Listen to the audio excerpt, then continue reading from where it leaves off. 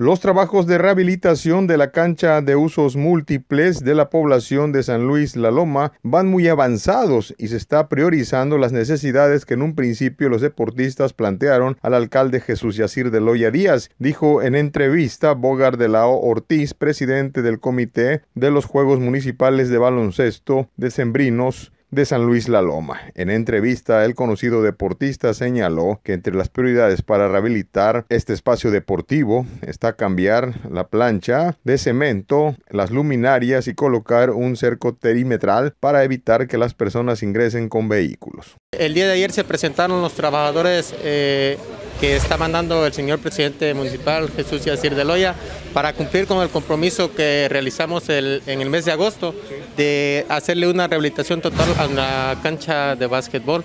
en estos momentos ya se encuentran trabajando eh, el personal eh, en las labores de rehabilitación del piso. Eh, se va a rehabilitar, también la iluminación toda. se va a encerrar el perímetro de la cancha de básquetbol y también se va a, a desasolvar el techado de la, de la cancha. ¿Aproximadamente qué tiempo va, va, a durar estos trabajos? Pues eh, pensamos que va a durar de unos 15 a 20 días eh, para que la obra se, se culmine. Aún estamos en pláticas con, con, el encargado del proyecto, pero poco a poco este, eh, se va viendo que, que, van avanzando los, los trabajos. Eh, anteriormente habíamos este, tomado ahí otras medidas, habíamos puesto postes con cadenas, pero desafortunadamente la, la, gente no entiende. Entonces, en su momento se la robaron, pero la recuperamos.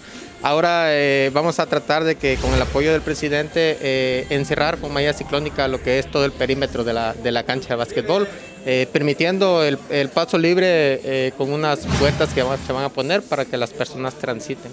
Por otro lado, él también, ecologista y tesorero del grupo Barreros de San Luis La Loma, se refirió al trabajo que vienen realizando donde hasta el momento, cada fin de semana, liberan entre mil a mil quinientas crías de tortugas de la especie golfina. Pero además reconoció que este año hubo mucho trabajo.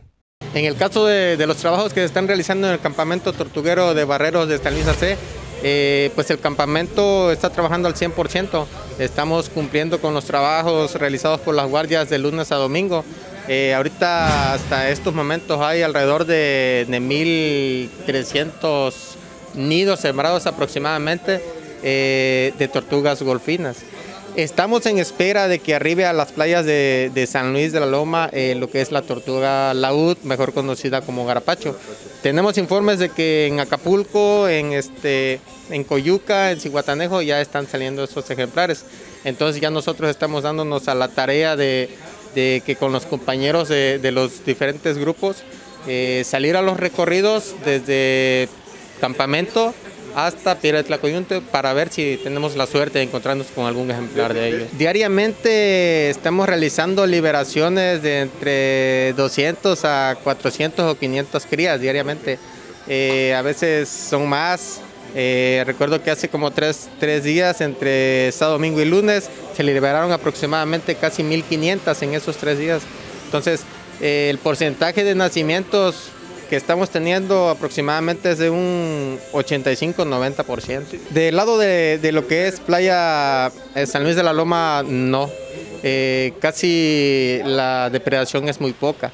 Sí existe todavía, hay que reconocerlo, pero sí la gente ha tomado un poco de conciencia y también hacemos un llamado a las personas de la, de la comunidad de San Luis de la Loma, de San Luis San Pedro, de las comunidades aledañas a, a, San Luis de la Loma y al campamento, de que hagan conciencia de, de no matar esos animalitos. En el caso del tema deportivo, de la Ortiz señaló que es importante destacar el trabajo que se está realizando en la cancha, que dijo en los próximos días quedará completamente culminado. Con imágenes de Servando Mellín informó para Canal 6 Guillermo Hernández. CN6 Noticias. De lunes a viernes, 8 de la noche.